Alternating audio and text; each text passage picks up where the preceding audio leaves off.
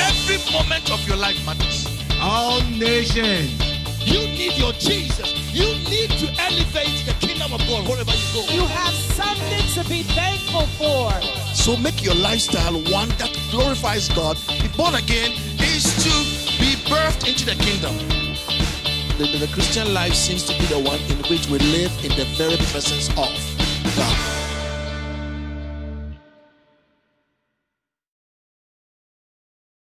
word for everyone here today. Are you ready for the word of God? I said, Are you ready for the word of God? I believe it's a now word. Hallelujah. It's a word in season. Hallelujah. Oh, somebody say the word is coming and the word is good. Say, I love the word. The word is bread. The word is meat. The word is meat. The word is honey. The word is, what is guy going to say? The word is life. The word is healing. Praise God. Father, thank you so much for your presence. I ask for the unction, Father, of the Holy Spirit to speak forth the oracles of God today. Thank you that the word you have placed in my heart, it will fulfill your purpose in the name of Jesus Christ. I thank you for every heart that is gathered here. Thank you, Father, in Jesus' name, for receptive hearts to your word today. Receptive hearts that they will receive the incorruptible seed of the word. It will bear fruits to the honor and the glory of your holy name. So thank you, Father, in Jesus' name. And all the people together said, Amen. The theme of this conference, in a sense, is mighty men of valor. Mighty men of valor. And really, it's mighty men or women of valor, mighty people of valor, mighty persons of, of valor. And I believe today the Lord wants to ask you this question What do you have in your hand? What do you have in your hand? I want you to turn to somebody and say, What do you have in your hand? Ask them, What do you have in your hand? You see, when God gets ready to do something on this earth, He always looks for a person. Always. Remember when he, he wanted to make sure that he would cut a covenant with a, a person so that the Messiah, the seed of Abraham, would come? He looked for Abraham. He looked for Abraham. He looked for Moses when he wanted to bring deliverance to his people when they were in bondage. When he wanted to deliver his people from the Philistines or the Amalekites, Amalekites, and all those folks, he always looked for somebody. That's why you have the judges, you have Samson, you have Gideon, you have people like that. He always looks for somebody. In fact, the Bible says the Lord is looking throughout the earth. His eyes are roaming throughout the earth. In the book of Second Chronicles 16 9 says, The eyes of the Lord run to and fro throughout the whole earth to show himself strong on behalf of those whose heart, heart is loyal to him. He's looking. So as he looks across the earth, he looks at North America, he looks at the United States, he looks at Texas, he looks at Round Rock, looking for somebody to do something through. Show himself strong to. Hallelujah. When he's getting ready to do something, he always looks for a man, looks for a Deborah, looks for an Esther, looks for somebody. Because God is in heaven. And this is, and we, the human beings, he looks for somebody on this earth to use.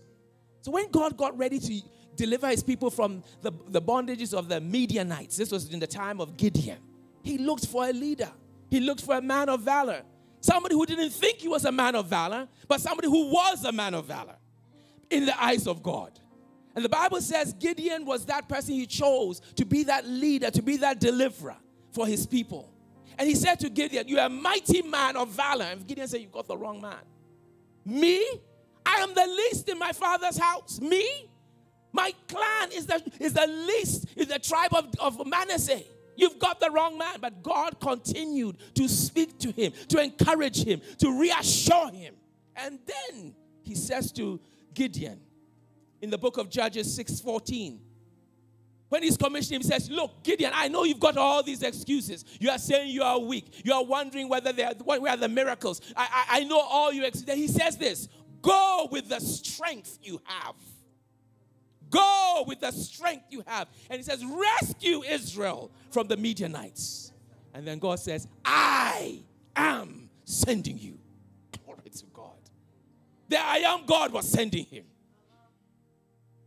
This is the commission he gave you. He says, Look, you go with the strength you have. You think you are weak. You think you, you are the least. You go with the strength you have. Why? Because God was going to be with him. He was not going to fulfill it in his own strength. God was going to be with him. If that's why he says, I am with you. He said, The Lord is with you, you mighty man of valor. Many times God looks at us when He's looking at the earth and He sees women of valor. He sees men of valor. He sees people of valor, but the people don't realize it. They still look at themselves, oh, no, no, no, no, no, no. They're talking about Pastor Richard. They're talking about, about T.D. Jakes. They're talking about somebody else. It's not me. God sees you and He sees you with destiny and purpose. Can you say amen? amen? Have you ever wished that you had more in this life? Have you ever wished that you had more money in this life? And you say, Oh, if I had this amount of money, I'll be a blessing to the kingdom of God. Have you ever wished that you could sing? You know, like the doc here, you could sing and lead worship, or you could do this and do that, or you had certain gifts and talents. Have you ever wished you were you were from the good school? Hallelujah. You know, you went to the best school around, or you went to Harvard or Yale. Many times we wish we were taller or smarter or, or, or, or, more beautiful or had an advantage. All these things we wish we had. That we had better opportunities in life. But the truth is, it's not so much what you have, those things don't matter. It's not so much what you don't have, I beg your pardon. It's what you have. God looks for what you have, not what you don't have. What he's not looking for what you don't have. The interesting thing is this in the Bible, he does extraordinary things through people who have very little. Hallelujah. Very little, he will do extraordinary things so that he gets all the glory. That's why the Bible says he takes the foolish things of this world to confound the wise. He, com- he takes the weak to confound the strong. Ah, because he wants his glory. Amen. I'm going to give you a few examples here because God is asking you this question What do you have in your hand? There is something God has placed in the inside of you. There is a gift, there is a talent, there is something that you are not regarding as important that God has placed inside of you, and He wants to use it anyway. Hallelujah. Do you remember the rod of Moses in the book of Exodus? I'll give you a bit of background. The Hebrew people were in Egypt. They had been there for over 400 years. They were in terrible bondage. Even though they went to Egypt and they had favor through Joseph, now they were oppressed as slaves. They were the main workforce of the Egyptian empire. And it was bad, it was difficult. It was a trying time. And the Bible says, in desperation, they started crying out to God, saying, Lord, help us. Lord, deliver us. They were crying out to God for rescue, for Him to show His face. 400 years in slavery is not a joke. And the Bible says that God looked for a man, and the man was Moses. He was in Midian, he was all the way in the Midian territory. And here he is looking after his father's sheep, not even his own sheep, his father in law's sheep. He's looking after his father in law's sheep for 40 years. Moses was in Midian because he ran away. He ran away from Egypt because he had killed a man. Now, by the way, those of you who know the story, Moses grew up in the palace. Pharaoh's daughter looked after him. Then he identified himself. No, he said, realized that no, he's a Hebrew. So he identified himself to the Hebrews. He saw somebody maltreating one of the slaves and he killed that person. And so he had to run away. So he's been in Midian for 40 years. And then God says, okay, these people have been crying out to me. It's time. And he has this encounter at the burning bush. Hallelujah. And at the burning bush, the bush is burning. The bush is on fire, but it's not burning. It's an encounter with Almighty God. And then God begins to give him a commission, an assignment. And he says to Moses, I'm, I'm actually sending you to be a deliverer. I'm sending you to bring, to rescue my people. Oh, sometimes you, you don't realize that you're the one. Moses was looking after his father in law's sheep, but he was the one. You may think that you are at a dead end job at McDonald's, but you are the one. You are the one. God is looking for you. You may think that, oh, I, am not an engineer, I'm not a, a doctor. You are the one. You may be cleaning some place. You are the one. Hallelujah. And I'm saying it not just to stroke your ego, the Bible says it. Jeremiah 29 11 says, I know the thoughts and the plans I have for you. Plans of what? Good, not of evil, to give you a future and a hope and ex- an expectation of something positive coming to you. Job chapter 8, verse 7 says that though your beginnings were small, your latter days will, will, will increase greatly. Increase greatly. Oh, folks, you have to know that it doesn't matter how you start, it's how you finish. Moses was looking after his father in law's sheep, not even his own sheep. And then he had an encounter with God. Hallelujah. Hallelujah. And God asked him, gives him this commission. It seems like an impossible commission. Here he is in Midian. He says, I want you to go back to Egypt. And I want you to go back to Egypt, the most powerful nation on earth at the time. And he says, I want you to give a message to the most powerful man. And the message is a simple message. He says, Let my people go that they may hold a feast to me in the wilderness. That was the message. And now you can imagine Moses. What are you talking about? Don't you know where I am? I don't have an army. I don't have any other strategy. I don't have weapons. I am not a diplomat. And he starts giving excuses. I can't talk. You know I can't talk. And he said, you know, he's he's telling God that he's got the wrong man. But God keeps on encouraging this man. And gives him a few signs and so on. He's encouraging. And I want you to think about how enormous this task must have been to Moses. Must have been tough for him. Moses was not holding a sword like a general. Moses was not holding a scepter like a king. All he had was what? A rod. A shepherd rod. Oh, folks, you see, God asked Moses something when he was trying to persuade him, when he was trying to encourage him. God asked Moses something. He said, What do you have in your hand? What do you have? Because Moses was given all the excuses. I don't have an army. I, you know, he was given all the excuses. It's not me. He says, What do you have? And he says, I have a rod, just a shepherd's rod, the one I used to direct the sheep, the one I used to protect the sheep. I have a rod. That's all I have. But you know the rod of Moses? It did exploits for God. Oh, somebody, you've got to hear me out today. You've got to hear me out today. You may to hear me out today. Don't underestimate what God is going to do in your life. All Moses had was a rod and a word from God and a promise from God that he was going to be with him. That's all he had. A word from God, a promise from God, and then, of course, his rod. That's all he had. Don't underestimate a word from God. Don't underestimate a promise from God. I remember when I was down and out, I had gone to this conference in New Jersey. I'll never forget it. And I keep on saying it because it, it impacted my life, it changed my life.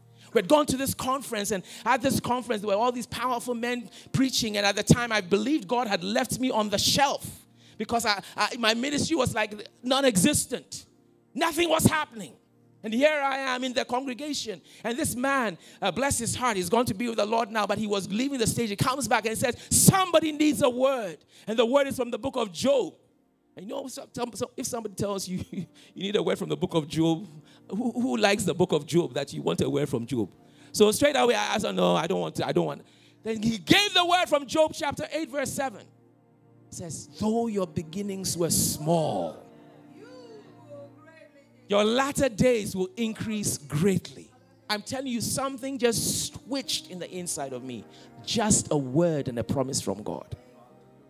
Moses had a promise from God. He says, I'm going to be with you. He had a promise from. He had a word from God. I want you to go. That's what he had. That's what Moses had. So, what happened here? You see, God was concerned for the people of Israel because they were children of covenants through Abraham. Do you know that you're a covenant child? When God sees you, He sees you, but He also sees covenant. You are under the new covenant. And the Bible says it's a better covenant. It's a better covenant with better promises. So when God sees you, He doesn't just see you as a person, He sees you and He sees His covenants. So God was getting ready now to respond to Moses. Hallelujah. And He said to Moses, What do you have in your hand? And He says, I have a rod. What do you have in your hand? What gift do you have? What talent do you have? What spiritual gift do you have? What has God placed in the inside of you? You see, Moses thought it was it, it was insignificant. He thought it was un, it was not impressive. And sometimes the thing God places inside of us, we think that it's not important. It's too little. But God is asking, what do you have? What do you have in your hand? God will always ask you for what you have. He won't ask you for what you don't have. Did you hear that? He will ask you for what you have, not what you don't have. He wants to use what you have. He won't he won't, doesn't want to use what you don't have. Hallelujah. So he asked Moses this question, and then he begins to encourage him, encourage him, encourage him, encourage him. You see, when there is something small, doesn't matter how small it is, when it is surrendered to God, when you partner with God with that thing, suddenly the thing that is insignificant, it becomes significant. The thing that is natural and small, when God places his hand on it, it is supernatural. The thing that is ordinary, when God gets involved, it is extraordinary. Oh, somebody, turn to somebody and say, What do you have in your hand? when Moses' rod was surrendered to God, the Bible tells us in the book of Exodus, chapter 4, and verse 20, that suddenly the Bible says that it became the rod of God. It was the rod of Moses. That was the staff of Moses. But suddenly the Bible begins to have that switch. And says it's the rod of God. There was a switch. Why? Because he surrendered what he had to God. And that rod began to do extraordinary things because of God, because God's hand was with it on that rod. Hallelujah. That rod, and in fact, the rod of, of, of Aaron as well, it was they were used by God to shake the, the, the, the, the empire of Egypt. Rods, simple staff rods. So you see, for example, when Aaron, you know, when the plagues were coming and God was beginning to work on Pharaoh and beginning to, to, to, to force him because he had a stubborn heart and he brought the plagues. Bible tells us that when, when um, Aaron, you know, he raised his staff and he struck the waters of the Nile, suddenly the waters of the Nile became blood. And all the rivers in the whole of Egypt were blood. All the streams, blood. There was blood everywhere. God just touched the rod of Aaron. That's what God did. And then he stretches his, his, hand, his, his rod again. This is Aaron upon the rivers and the, the, the, the waters of the, of the, of the of Nile and of, of Egypt. And what happens? This is the second plague. Frogs began to come out of the rivers and the, and the streams. Frogs. And the Bible says the frogs were on the land. They were in the houses, in the palaces, in the in the in their ovens, on their ovens, everywhere there were frogs. Who brought the frogs? Help me out. Who brought the frogs? Whose rod was it? Aaron. But God did the miracle.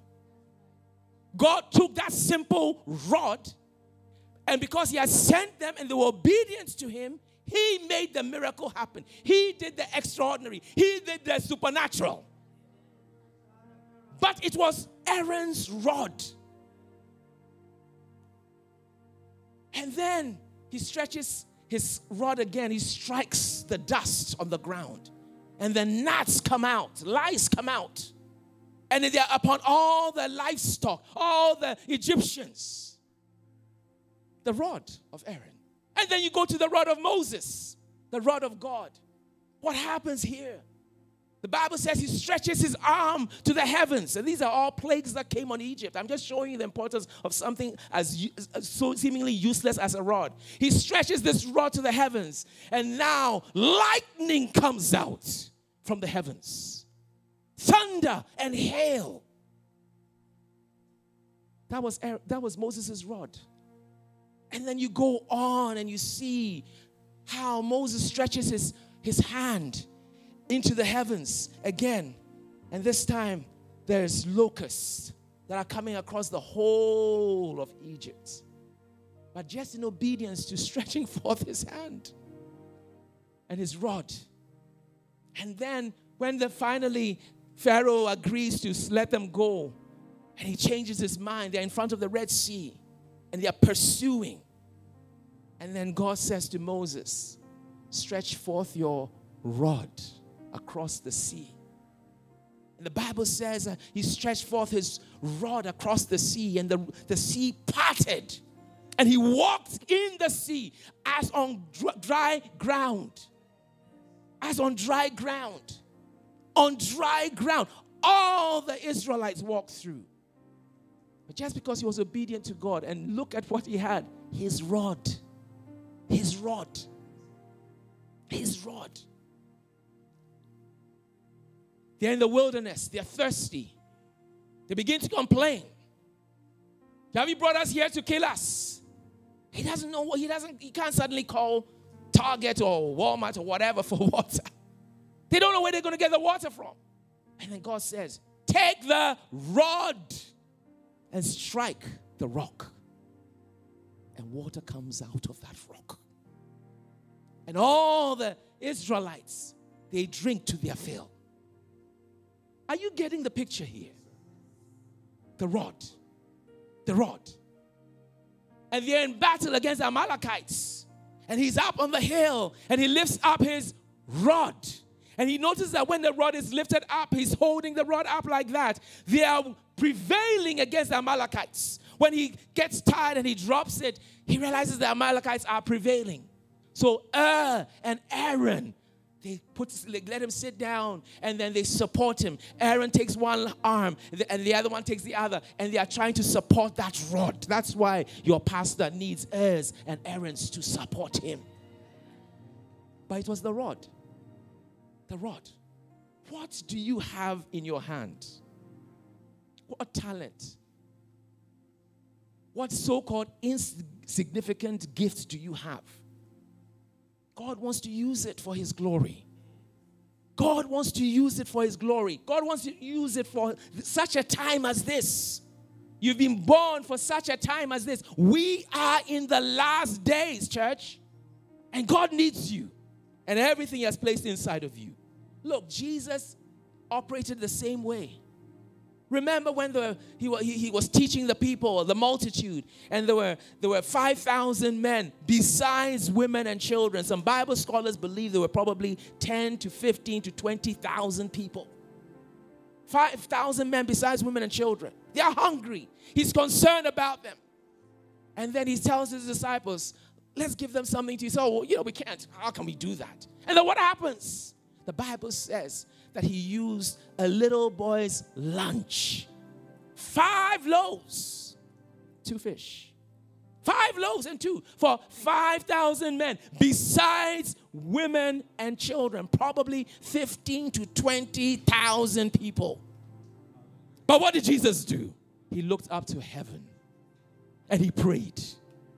And then he said, told his disciples, Go and distribute it and everyone ate to their fill. And there were how many basketball basketful? 12 baskets full of the leftovers. Five loaves, two fish was enough for God. He did it again when there were 4,000 men besides women and children. This time he took seven loaves and a few fish. He did the same thing. It was enough for God. And he fed them all. And there were seven baskets full after they collected the remnants. I'm just giving you the picture that God doesn't need much. He can use little if you will entrust it to Him, if you will partner with Him. Hallelujah. Remember David and Goliath. The Bible just goes to great lengths to describe Goliath. He was about nine feet tall. He was, I believe, he was Nephilim. He was a Nephilim in my view. But he was nine feet tall and describes his armor and all that. He had an armor bearer and all that kind of stuff. And all the professional soldiers from Israel, they were quaking in their boots. They were afraid because this guy was a champion. Then David comes on the scene. I'm not, I'm not going to give you the whole story. You know the story. But what did God use? one stone. One stone. He took five, God needed one. Was able to slay Goliath with a stone. With a stone. I want you to get this picture that God is asking you, What do you have in your hand? Remember the widow of Zarephath in the days of Elijah, where there's this famine, it hasn't rained for three and a half years. And initially, God is providing for Elijah with the ravens and the, and the brook. And now he says, Okay, I've sent you to a widow. And she, I've commanded her to give you something to, to take care of you, to sustain you. So he goes there and he meets this widow who's gathering sticks for her last meal. All she had was a little oil and some flour. And she says, I'm going to just cook my meal, and me and my son, we're going to die after that. That's all she had. Then the man of God gives the word, and she, by faith, accepts the word. And that little oil and the flour is sustained her her son, and Elijah throughout the rest of the famine. That's all God needed. That's all God needed. What do you have in your hand? Remember that desperate widow who had married a prophet? The prophet was in debt, he died. Goes to Elisha, the prophet. He says, This is the situation. The creditors are coming for my sons. She didn't know what to do. And then it's very interesting. First Kings chapter 4. I want you to listen to this. First Kings chapter 4, verse 2. Second Kings chapter 4, verse 2. Is it Second Kings? Okay. He said, he said, this is what he says. What do you have in the house? Okay. Second Kings chapter 4 and verse 2. He asked this question, What do you have in the house? And she said, Your maid servant has nothing. I want you to take note of what she said. Just, I don't have anything. And then she adds, I don't have anything in the house but a jar of oil. the question was, What do you have? And she looks and says, I don't have anything. I only have a jar of oil. Just a jar of oil. That's all she had. And what did the man of God do? What did God do? He used that little oil, that little jar of oil. He commanded her to go and borrow from her, their neighbors. He said, Don't borrow a few jars, borrow. And you just keep pouring. And as she was pouring that little oil that she said is nothing, is nothing, is nothing. kept on pouring that oil, that all the jars began to be full till there were no more jars. And she sold the jars of oil, and God took her out of debt. That is what she had. But she entrusted it to God. God partnered with her. The ordinary became extraordinary. So when you look at yourself, if somebody asked you, What do you have? What would you say? Would you just belittle some of the precious things God has placed inside of you? If you do that, then you are limiting God's move in your life. Because if you can use a rod, if you can use five loaves and two fish, or seven loaves and a few fish, if you can use a little oil and a little flour to sustain all these people, how much more the gift that is inside of you? Hallelujah. Hallelujah. Samson. You know the judge Samson. I love the story of Samson. Bible says that he was able to kill 1,000 Philistines with a jawbone of a lion, of a donkey. That's right. A jawbone of a donkey. What's your name? What's your name? Obisa. Obi. Obi? Okay. May the Lord continue to grant you the word of God to bubble in the inside of you. May it become sweeter and sweeter in Jesus' name. May it come out of your mouth. May the life that comes from your mouth in Jesus' name, may it affect lives in the name of Jesus Christ. Amen. Praise God the jawbone of a donkey. That's what he used. Because the Holy Spirit, you see, and the God is careful about his glory. It says the Holy, the Spirit of the Lord came upon Samson. That is the trick. It was not the, the jawbone of the donkey that did it. The Holy Spirit. Hallelujah. There's another judge. A lot of people don't know about him. He's called Shamgar. Shamgar. It sounds like some Ghanaian food. called Shamgar. Shamgar was able to deliver Israel from the Philistines, and he killed 600 men with, a, with a, an ox goad. An ox goad is like a stick that is pointed that is used to direct ox. Are you getting the picture? What do you have in your hand? Oh, glory to God. Then you come to Gideon.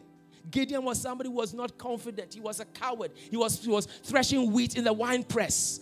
And so Gideon is threshing wheat. He's trying to hide from the Midianites. Then God comes and says, Oh, the Lord is with you, you mighty man of valor. He says, Oh no, you've got it wrong. I'm the least of my in, the, in my in my family. He says, My clan is the least in Manasseh. No, you've got it wrong. And he says, Where are the miracles of God? He brought us out of it. Why don't we see it now? He's giving all these excuses. And God is still pressing. I want to send you, Gideon. I have work for you to do. And he's trying to press him, he's trying to encourage him. And then he says to him very clearly, You go with the strength that you have.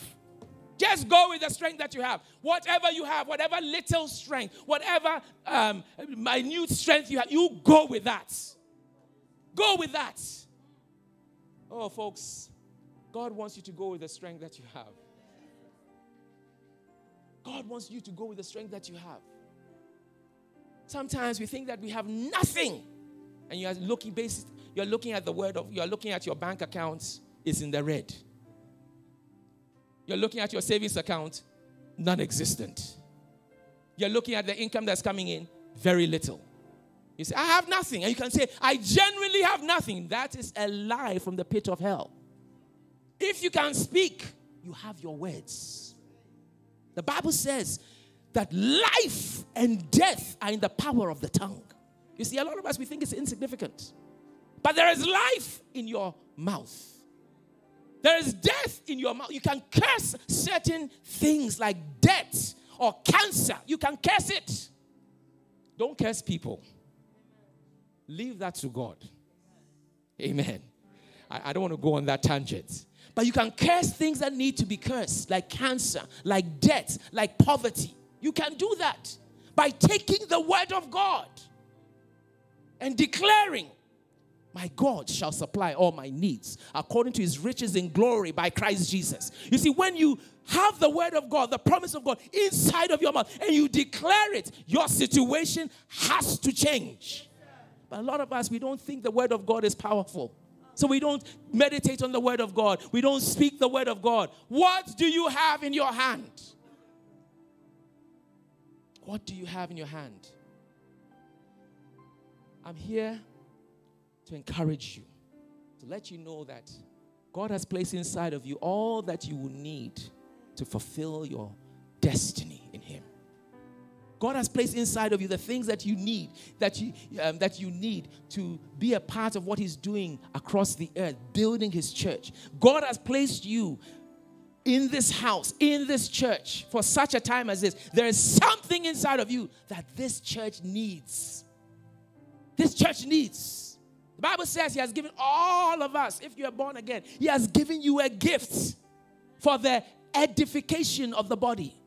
That is the building up of the body. So if you are a believer, God has placed something inside of you that is for this house or the people you come in contact with. Are you hearing what I'm saying? It's time for you to acknowledge before God Lord, you know what? I didn't realize this, but you've given me this gift. Sometimes it's easy to, to see some gifts like a voice, an ability to lead worship, and lead to play the piano, all that kind of stuff, or uh, uh, uh, the leadership gifts you can. See. But there are things that God has placed inside of us. Some of you, God has placed the ability to just cook. And that is, is going to be used by God. You know, there's a lady in our church, bless her heart. When you come to the church and she smiles, it's like your troubles will go away. She would just smile. Welcome to River of Life. And many people have testified. Just a smile. A smile. Some of you, you've got smiles that you are holding back. Maybe you are the person that needs to help be an usher or a greeter. When somebody comes and says, Welcome to the best church in the world. Amen. And that smile alone will put them at ease. Are you hearing what I'm saying? Are you hearing what I'm saying? God wants to encourage you today. There is something inside of you that He wants you to bring out. Look, let me give you this. I'm going to close now. Actually, I've got 11 minutes. Well, praise God. But I want to just wrap this up by sharing this testimony because I believe this is where God was directing me as I was sharing about what you have in your hand. In the 1949, November of 1949, there was a tremendous revival that broke up in the Hebrides, the Isle of Lewis. The Hebrides uh, group of islands, about 40 different islands off the west coast of Scotland. Okay, the Hebrides. When you go back, check out the revival in, in the Hebrides. But it's interesting how that revival started. In fact, the, the, the main hand or the main lead person for, for, for this revival was a guy called Duncan Campbell. Powerful man of God. Powerful man of God. And many times when you hear about the Hebrides revival, you hear of Duncan Campbell. And many times people would invite him, and he was always careful to show how the revival started. It started with two women. Two women. One of them was 84 years old. They were sisters. The second woman was 82 years old. Their names Peggy and Christine Smith. Peggy Smith was stone blind. She couldn't see. 84 years old. Christine Smith she suffered from crippling arthritis. Two women. God just placed his burden in their hearts. Two women living in a small, humble cottage. He placed his burden in their hearts. He said, Why don't we see young people in our church? That was the burden. So, you know what? Yes, could, one person couldn't see, but God didn't, didn't need her to see naturally. The other person was suffering from crippling arthritis. What did those two women have? They had some time and they had a bed. So they decided that they were going to start praying on Tuesdays and Fridays from about 10 a.m. to 4 a, uh, 10 p.m. to 4 a.m. Just Tuesdays and Fridays. These women began to devote themselves to prayer. That's what they had. And as they were praying, they were praying, they were praying. Then God gave a vision to Peggy, a vision of a whole uh, of a church full of young people. So she was encouraged. So she called her pastor and said, Pastor, I believe God wants to do something in the Hebrides. Some, God wants to do something on the island of Lewis. I want to encourage you. L- let's start praying. Let's start interceding. So the pastor took, thankfully, he knew there were godly women. He said, Okay, let's do that. Soon they started praying on Tuesdays and on Fridays, same time from 10 p.m. to 4 a.m. And then soon, seven men said, We're going to commit to this. They sensed that God was still going to do something. So they began to pray. They began to pray. They began to pray. The church began to pray. It started with two women, one blind, the other crippled with arthritis. And as they were praying, they had a, a, sense to call this Duncan Campbell. And initially, when he got the message, you know, he says, No, no, no, no, no. He was at a conference. He said, No, I'm not coming. I'm at the conference. And the Holy Spirit said, Get up and go. So he got up and he left. He left the conference. He left his assignment at the conference. He says, The Holy Spirit said I should go. So he went all the way to the island of Lewis. He gets there and they are still praying. And things are beginning to change in that in that uh, on that island. There's more of a consciousness of god. People are talking about god more and more. You know things you know there's an awareness of god. And as they are praying they still don't see a move. And then one day they have a prayer meeting. Duncan campbell is there. And as they have this prayer meeting they need encouragement because they are not seeing any results. So they pray, they pray, they pray. After the prayer meeting, Duncan Campbell dismisses everybody. And there's only one deacon left. And he says, Pastor, says Duncan Campbell, don't be discouraged. I know God is moving. I can sense it. And then he goes into a trance. The man goes into a trance. And as he's in this trance, there's a knock on the door, the church door. And the blacksmith of that community, he a believer, he comes rushing in.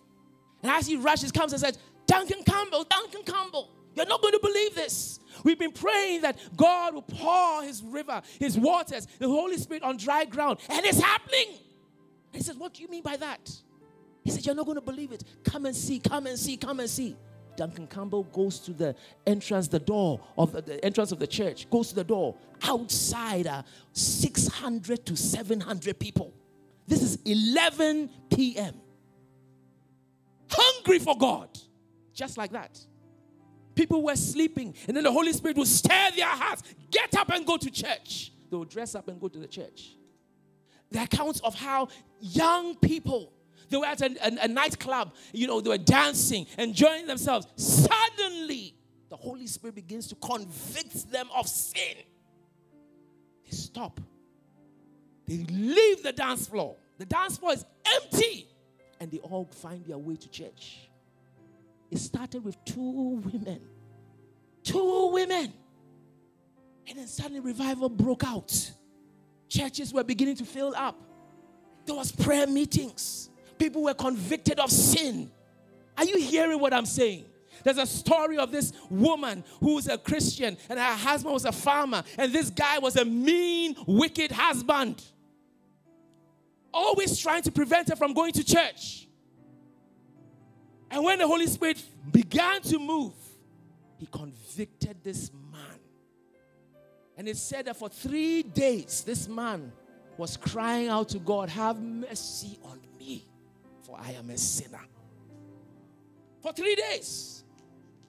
This woman was, was coming back with some friends, some other Christians, and they saw the husband in the farm. Say, oh, let, us go and let, let's go and minister. Say, no, no, no, no, don't minister. The way he has treated me, let the Holy Spirit work on him. For three days, he's crying out, Lord, have mercy on me.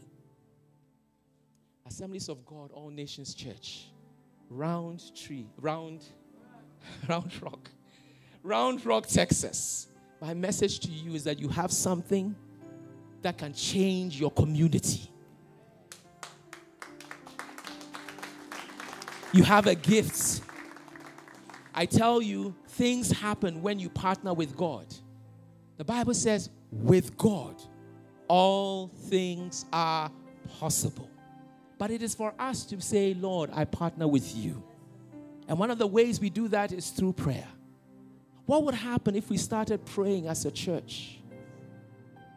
Yes, it's inconvenient sometimes, but that's what it takes. Sometimes it means you have to wake up early in the morning. Right now, bless God, we have Zoom. We can connect easily. What would happen if all of us started saying, you know what, we want to see a move in, in, in this community, in Round Rock? What would happen? What would happen if we started praying for the schools, praying for the, you know, against the nonsense that is being taught in schools? What would happen if we started praying for the universities around, praying for our leaders? Church, sometimes what we have is prayer. We have, you see, you and I, we have access to God. We have access through prayer. You have access through prayer. Husbands, you have access as a, as a priest of your home to cry out for your children. We have access to cry out for our, our, our, places of employment. You have access to say, Lord, bless my business. Lord, bless the business I'm working for. Convict them with the Holy Spirit and power. Convict them of sin, of righteousness, and of judgment. You have access to God through prayer. But you know what? Prayer is one of the things in the church that, that they, people they don't take seriously. I'm not talking about this church. Generally, prayers, if you have a barbecue, glory to God, everybody is going. I've heard about round rock ribs, hallelujah. You know, everybody will go for that. But when he says, let's meet together at 11 to pray, then all the excuses in the, in the, in the, in the book are there. But you have access. I have access. We have access. What would happen if we started praying about the election? What would happen if we started praying about, about, about, about the church expansion and growth and the anointing of the Holy Spirit? What would happen? God will respond. Because He wants it more than you and I do. Oh, church, God wants it more than you and I do. There was a powerful move in Hebrides. And if you listen, if you go on YouTube, there's so many accounts, it will encourage your faith. But what encouraged me most about it, it started with two elderly women. They, it doesn't seem like there'll be much that will come out of their lives. Two elderly, 84, blind, 82, crippled with arthritis. And yet they went before the Heavenly Father. So, what do you have in your hand? What do you have in your hand? What gifts? Your gift is needed. Is needed by God is needed by God. You have been born for such a time as this.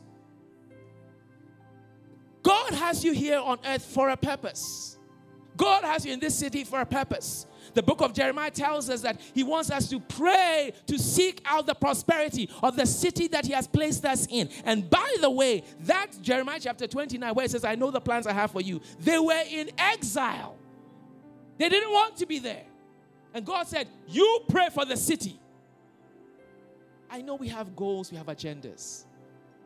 I'm asking you today, hook up to God's agenda. He wants the lost to be saved, and He needs somebody. He needs you. There are people in your sphere of influence. You are the one that is supposed to be a light and to talk to them. The pastor can't be at your workplace, can't be at the restaurant. You are it. There are people who are hurting, people who, are, who need healing. Hands, that's another thing. You see, our hands don't seem to be important, seems little. He has given all of us hands. What does the Bible say? Those who believe will lay hands on the sick. So even if you have hands, God has given you something to represent Him. People are sick, people are struggling, people are emotionally drained, people are depressed. You are it for the kingdom. Bible says he lifts up the poor and the needy from the dunghill and from the ashes to seat them with princes. How does he do it? Through his people. Oh, I just want to encourage you. You have something that God has placed in the inside of you, and God wants to use it. God is looking for men and women of valiance. Hallelujah people who are going to be strong and bold and courageous, who are willing to trust Him, that even though they have something small, they will give it to God and God will use it for something big. Oh, I tell you, families need you. Some of our families, they are unsaved. Some of our families, they, they, they, they are atheists or agnostic. God needs you to pray for the people. So, assemblies of God. The Bible says, in the day of his power, God is looking for willing volunteers. Are you willing? Are you willing? Are you willing to stand in the gap and pray? Are you willing to support your pastors? Are you willing to give what He instructs you to give? Are you willing to be the light in the darkness? Are you willing to be the salt wherever He places you? Are you willing to be the voice, His voice, where He has placed you? To bring a word of hope to people who are despairing. Are you willing? Folks, He's looking, His eyes are to and fro, looking, looking, looking, looking. He's looking over Africa. He's looking over Asia. He's looking over Europe. He's looking over North America. He's looking over the US. Looking over Texas. He's looking over Round Rock. And as he looks, does he find you? Does he find you? Does he find you? Why don't we just stand up together?